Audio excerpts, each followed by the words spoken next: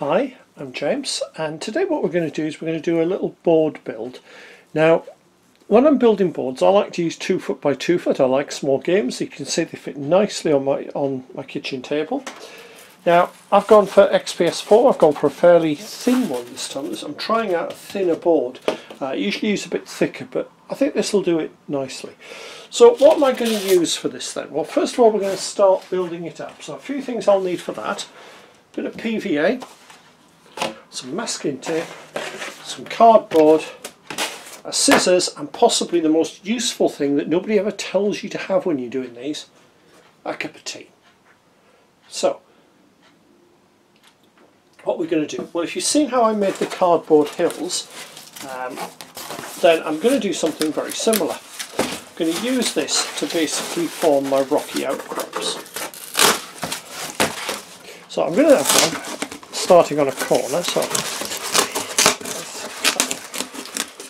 shape.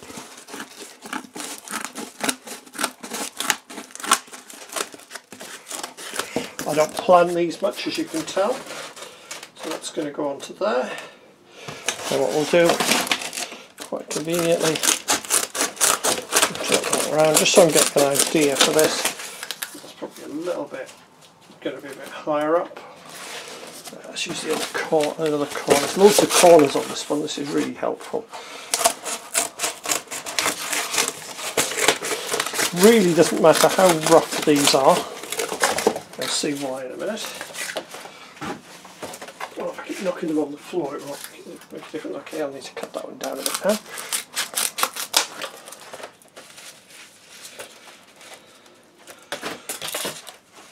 I'm really doing well for dropping stuff. So, I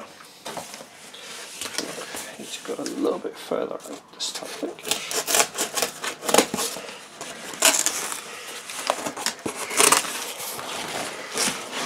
Catch this on everything.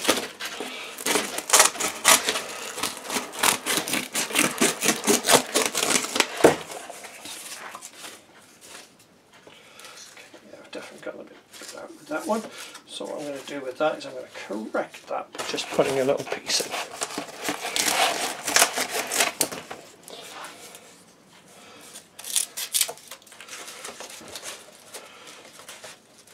Just so I'm getting a rough idea of what I'm looking at.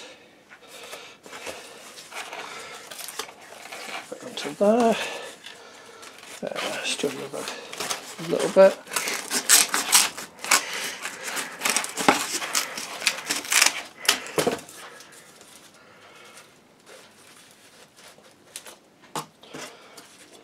Okay, that's not looking bad. I think what we'll do, extend it out slightly.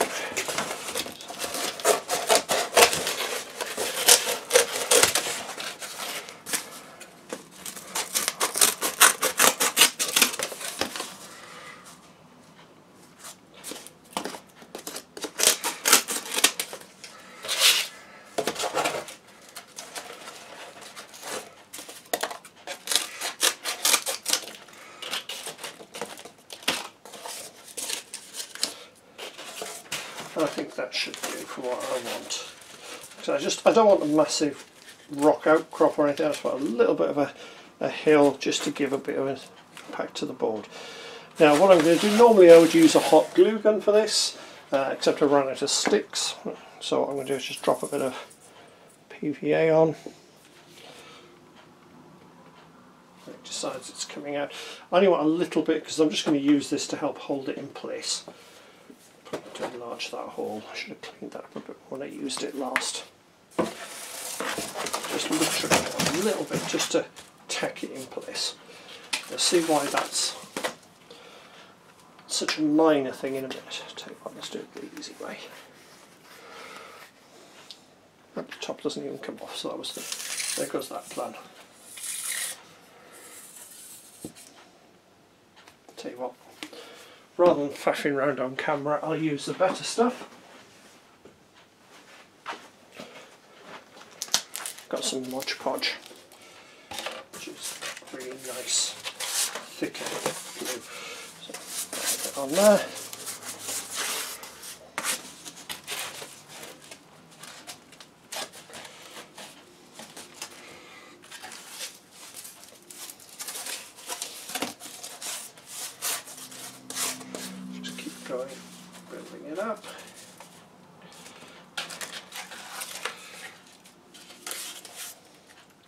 So I have to hope I actually put these back on in the right order, which has been known not to happen.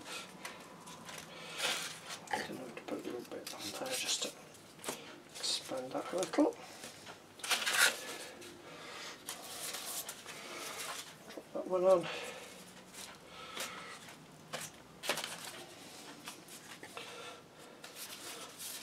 Drop that one on.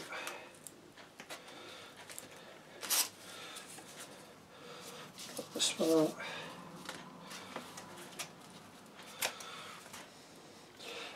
a little bit there, which I'm going to do is just put a drop on there to hold that in place. Move that out of the way. And this is where the masking tape comes in. So I'm literally just going to cover this now with masking tape, which has got the added benefit, it's going to help hold it down.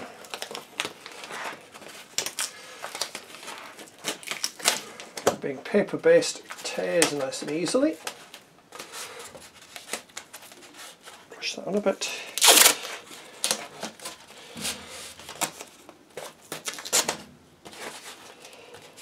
So if you've seen my cardboard hills, you'll know how this works.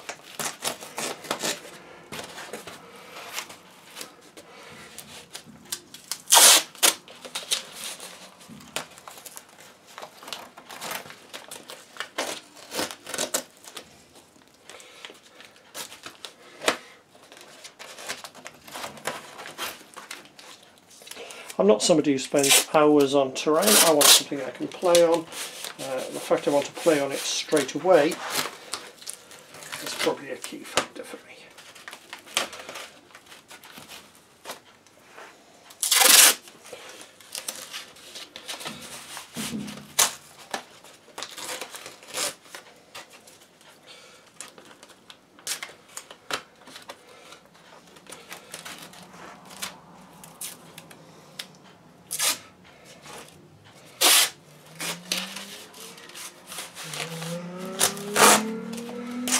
I forget being neat and exact, just building up a little bit of an outcrop.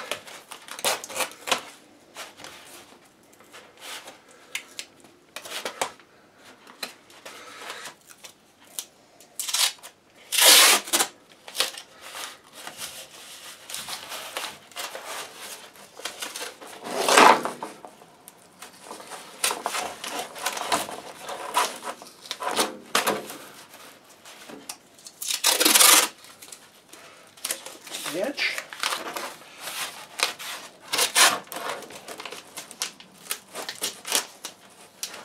Now I'm going to do is put a bit going this way just to seal that edge in. Doesn't need to go all the way with this.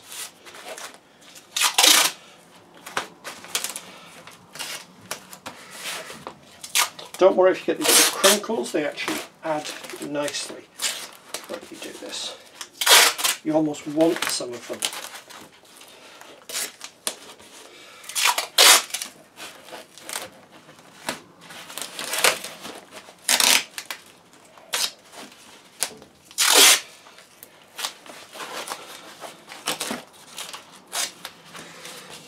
Okay, let's just use that just to hold that in place.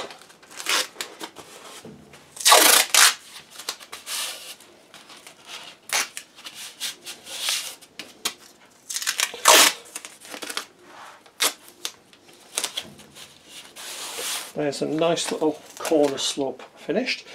So I think what I'm going to do is put a couple of little bits out. Um, so with these, literally, just for a few little rocks sticking up, literally just get a little bit of cardboard, doesn't even need to be neat and tidy.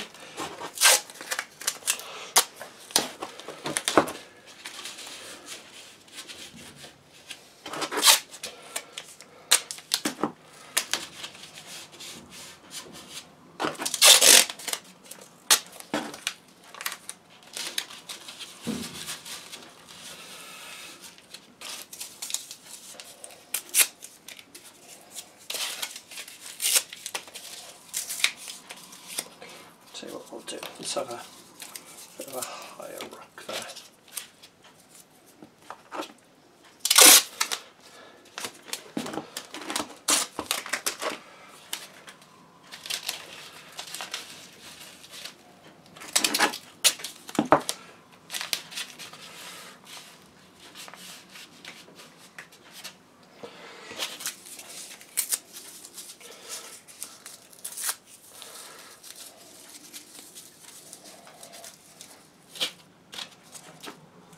that you need to stack them neatly. Literally chuck a piece of card, of card together, tape it down.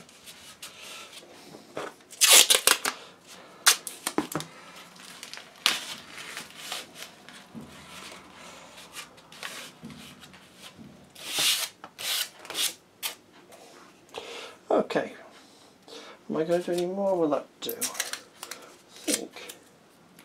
Just tidy that up a bit there. I think that should actually do. I'm just going to quickly look around, check for any bits where they're not stuck down particularly well. I can always just chuck a bit more tape over the top.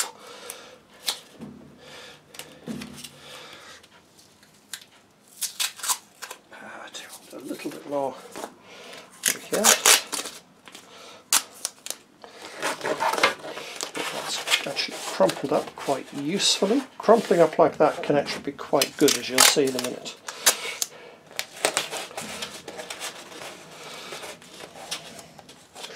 Right, and that will do for now. So the next step is going to be to get a little bit of paint. So bear with me while I get the paint. So, time for the next step. What I'm going to do is paint any areas that I want to be rocks black and I'm just using a cheap uh, ready mixed black uh, poster paint. Just, just paint the rock itself black.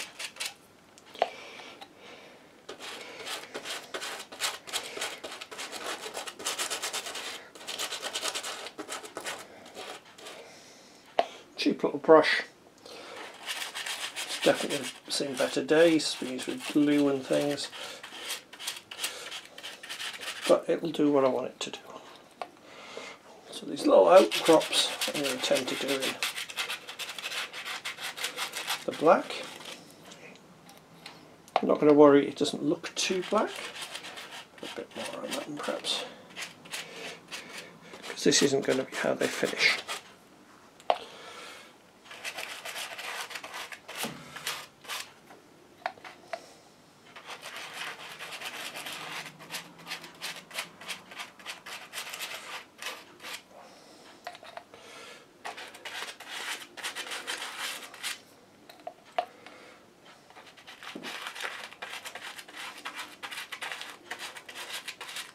I'm not going to do the whole of this as rock, but I'm going to pick out a few areas.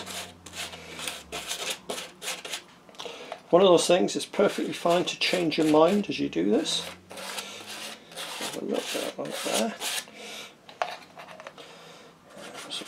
Yeah.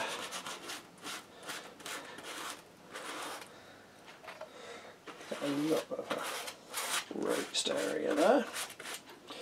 I'll do a little perhaps there.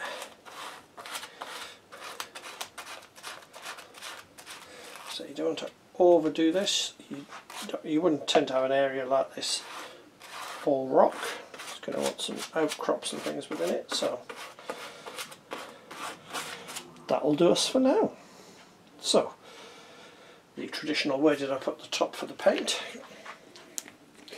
And for now, that's the rock finished with until that dries. So while that's drying, what I'm going to do is I'm going to clean off the brush and I'm going to clean off the other brush as well. That was how this one ended up like that.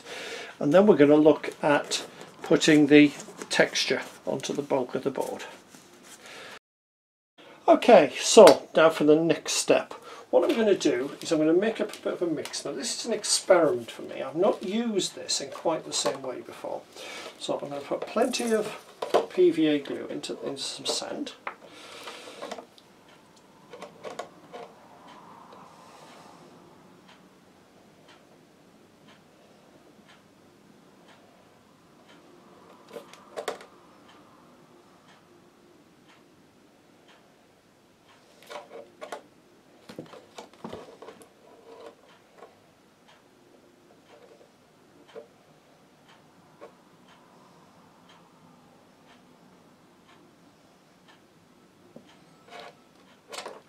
The minute.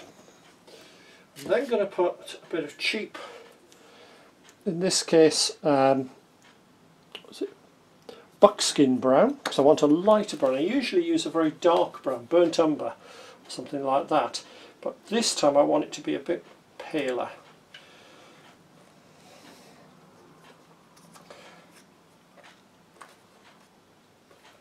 It's not coming out very well, so I'll take that. And it may be that this is actually ex expired. Well, I could get a lump out and I can work from there, I think. Yeah, let's not say what that looks like. So I'll drop that in. And I'm going to try, this is, this is another bit of experimenting, a little bit of tile grouting. Now I've not used tile grout before, so this should toughen up the board a bit. So I've got all that in there. So now what I'm going to do is mix all that together.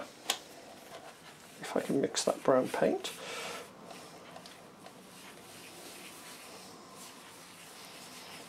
It's starting to mix.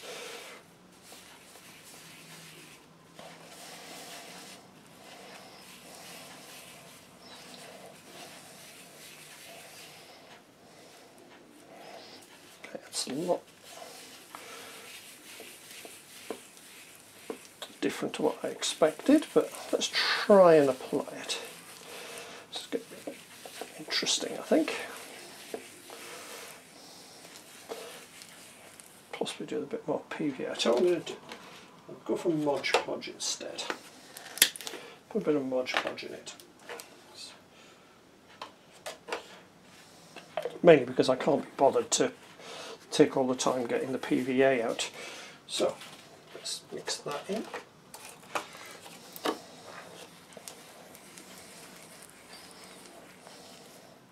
As you can tell this channel doesn't do really detailed breakdowns as to the amounts. That's looking a bit better. So now we'll start spreading that everywhere we want the grassed area to be. Or grass or bare earth. I'm not going to worry too much if we get a bit of overlap onto the black. In fact, that's actually going to help.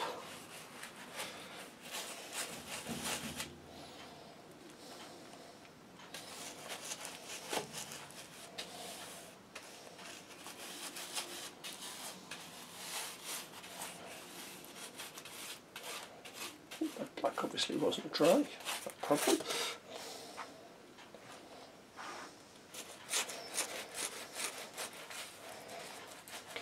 To be honest, if, what I normally do with this is I just use the PVA and the uh, paint. And you can actually mix that on the board as you go. At least if you've got the right paint you probably could. This one, like I said, it's obviously seen better days.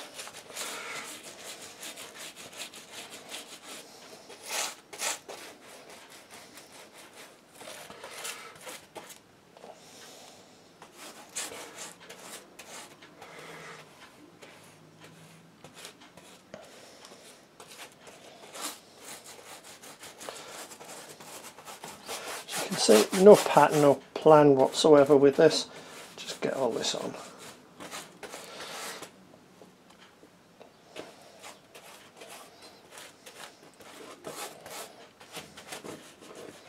You can see now that black rock is almost emerging from the base colour.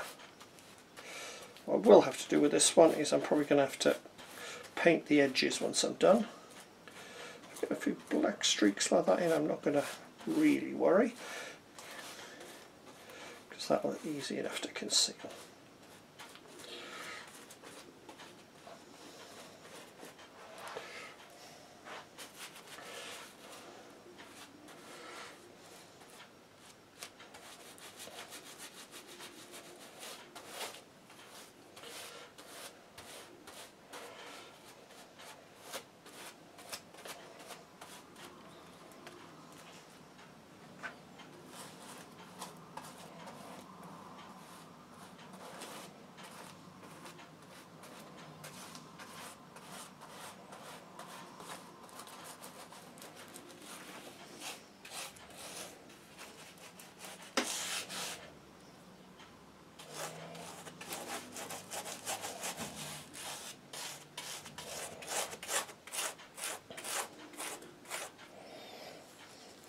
Do need to do is make sure you can't see the black through.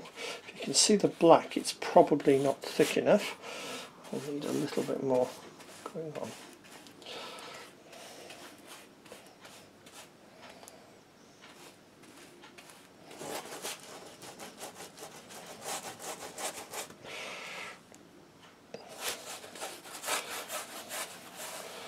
Looks like I might up a little bit more of this.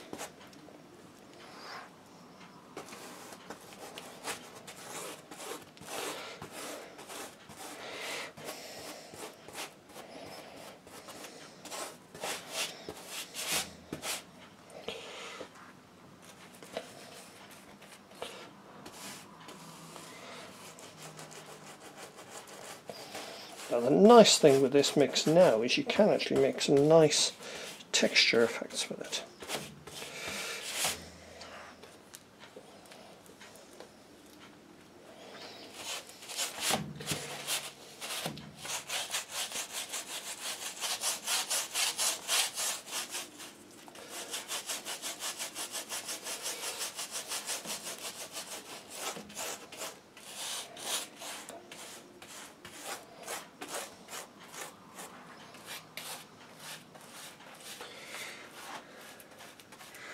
Now if you were actually building a board for something like Mars, you could be almost finished at this point.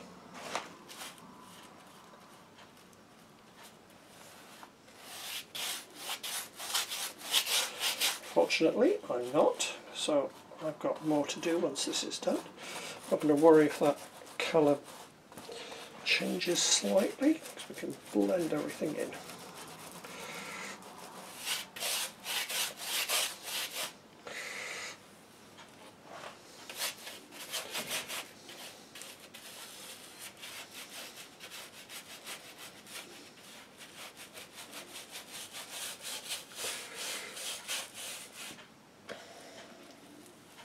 Yeah, I'm going to have to make up some more of this, I think.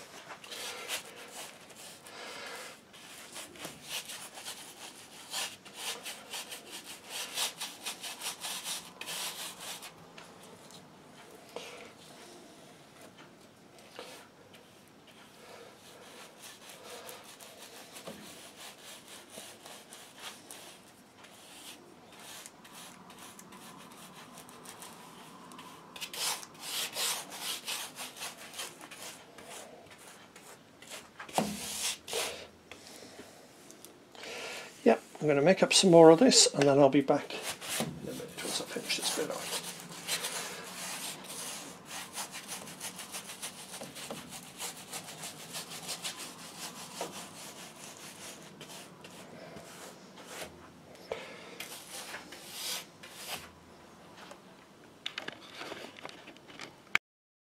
Okay, so you can see that's that just about done. Now the one thing I didn't account for is it does seem to have dried a bit faster than normal. So what I'm going to do, put some, oops, have to clean up that tablecloth there, put some of this on. This is basically just a bit of watered down PVA just to help me. Definitely need to clean this up after I'm done. After I'm done just to give me a bit more for the for the grass to stick to. So let's get the brush and just quickly brush a bit more of that over.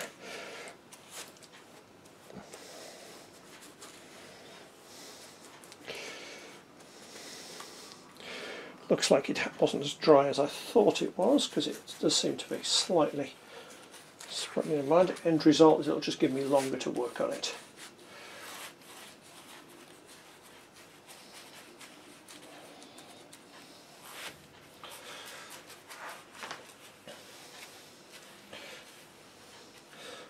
Just realising one of the problems with the, the poster paint is it does seem to take a lot longer to dry because that is still spreading out. Never mind. We live and learn and it had the benefit of being really cheap. Because let's be honest, wargaming figures cost enough these days.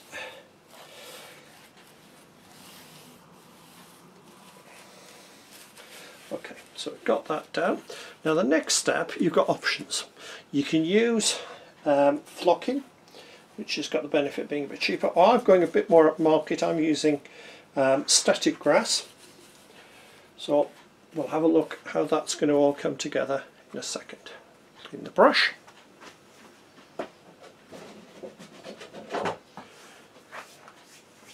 And I'm going to pause this while I assemble the static grass applicator. Okay, so just put some static grass in the applicator. I'm using um, some Battlefield Steppe Grass from Army Painter. I've also got some other types from WW Scenics.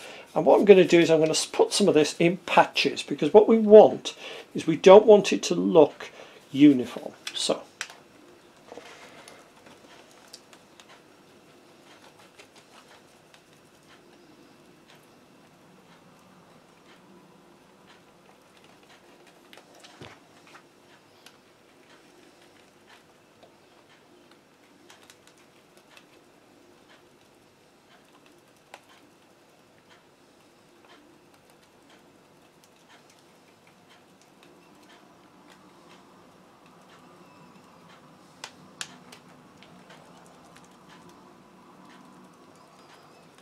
pretty much to go.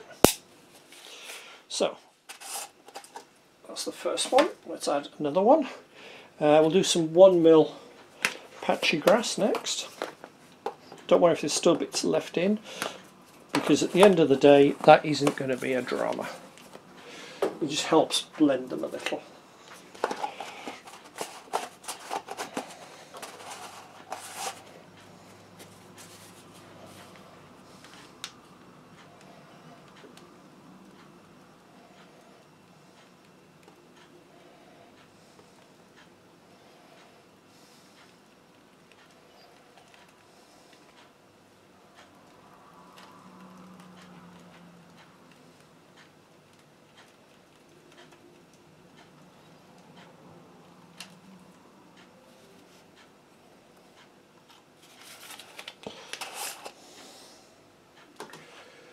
Bit more patchy grass on I think.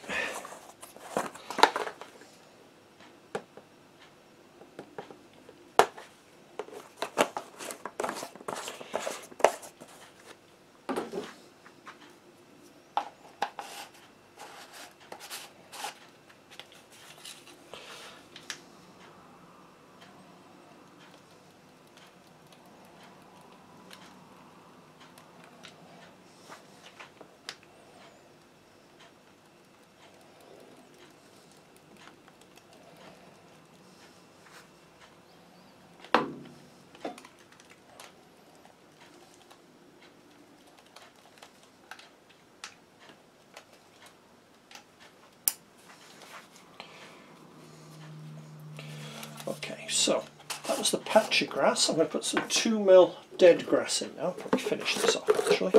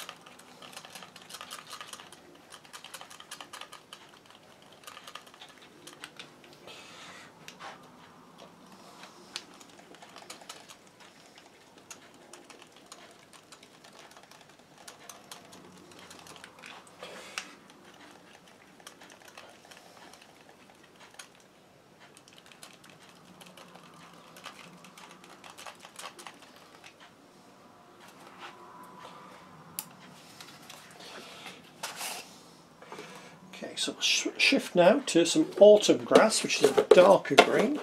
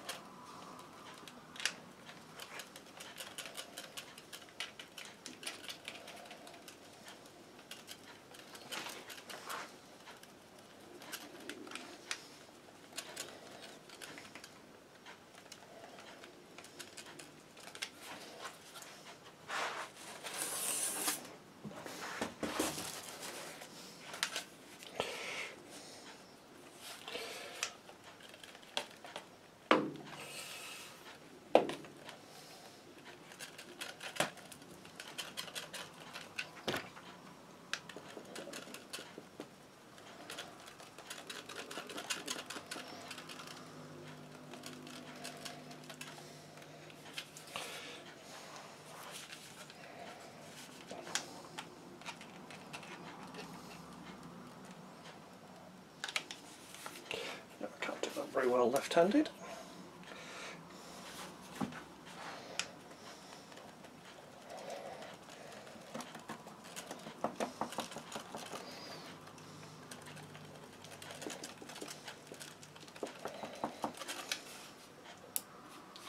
The battery's probably going in this, but it'll probably do for what I need to finish this off.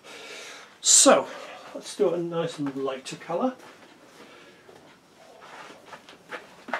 Got some nice 1mm dead grass. Let's use a bit of that.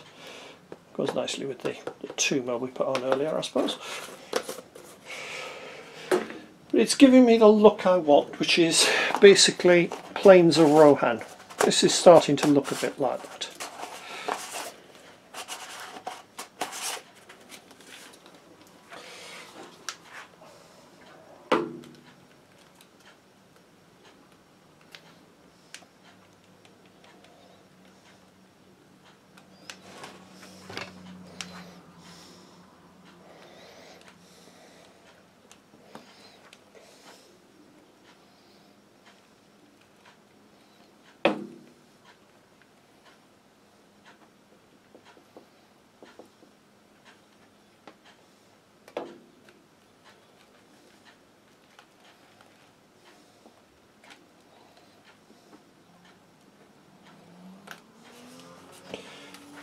Okay, so decision time. Is that going to be done?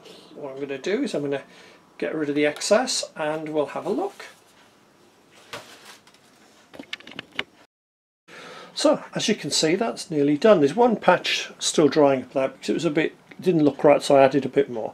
Now what I'm going to do now is I'm going to basically overbrush which is very similar to dry brushing but with a lighter coat just to give a bit of texture to these rocks. Don't need a lot. You can see what that's doing. It's just giving that little bit of a texture. On these I'm not even going to bother because I've actually got a really nice effect that I liked. Uh, I played around a bit over this side and I've sort of covered those a bit more than I normally would. But I can live with that because you do get them oops didn't a lot of paint off that one. That one that still looks okay. What we're going to do is just dry brush that up a bit more now. Lighter grey.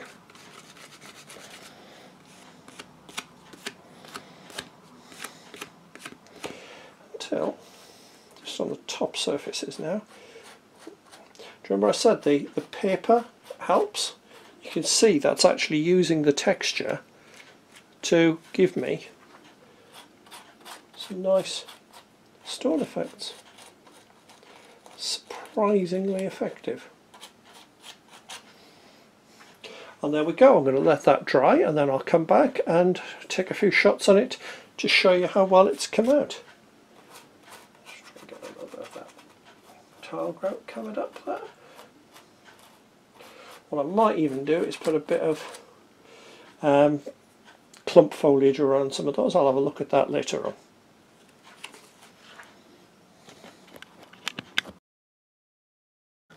So here we've got the, the final version. Uh, it's still not fully dried out in that area. I'm just going to give that some more time to dry, but I, I thought I wanted to try and get the, the footage on. Uh, you can see the rocks look really nice um, and the slope looks really good. So I'm really pleased with that. For what probably was about two hours at the most work, I've got a really nice two foot by two foot gaming board. Have a go at your own. Hopefully you've enjoyed the video. If you have, please click on the like button below so that I know what people like and I know what to make more of. Uh, alternatively, if you've enjoyed it, and think you'd like to see more, please click on the subscribe button. That way you get notified by YouTube whenever I bring out a new video. And you never know, there might be something in there that you hadn't considered, because I do cover a variety of things on the channel. And finally, if you have a little bit of cash going, uh, I now have a Patreon account. Um, I'm always looking for patrons because at the end of the day, let's be perfectly honest, it's a good way for me to get a little bit of money that will use to buy review items or to travel to museums and so on.